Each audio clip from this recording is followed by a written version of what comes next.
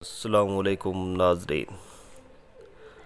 Budget دو ہزار چوبیس کی تفصیلات اور ممکنہ اضافے پہ ایک اور ویڈیو لے کر آپ کی خدمت میں حاضر ہو چکے ہیں۔ جیسا کہ آپ کو ہم نے پچھلی ویڈیو میں بھی بتایا تھا کہ ملازمین اور پینشنز کی تنخواہوں میں اضافے کا فیصلہ کر لیا گیا ہے۔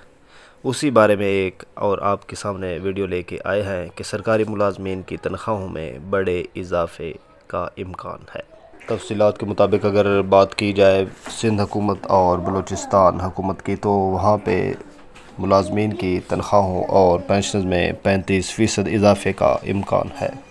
اور اگر وفاق کی ہم بات کریں، تو وفاقی حکومت نے جو وزیر خزانہ جناب اورنگزیب کی سربراہی میں کمیٹی تشکیل دی تھی۔ اس میں جو تجاویز پیش کی گئیں، اس کے مطابق ملازمین کی تنخواہوں اور پینشن میں پچیس فیصد اضافہ کیے جانے کا امکان ہے۔ جیسا کہ گزشتہ بجٹ میں پینشنز کی مد میں صرف ساڑھے سات فیصد ہی اضافہ کیا گیا تھا۔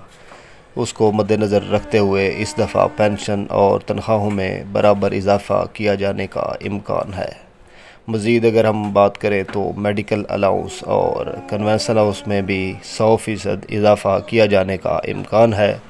اس کے ساتھ ساتھ اگر ہم بات کریں پنجاب اور کے پی کے حکومت کی تو وہاں پہ ملازمین کی تنخواہوں اور پینشن میں بھی پچیس فیصد ہی اضافے کا امکان ہے۔ جو تجاویز اب تک پیش کی گئی ہے، اس میں پچیس فیصد اضافہ دیکھنے میں آ رہا ہے۔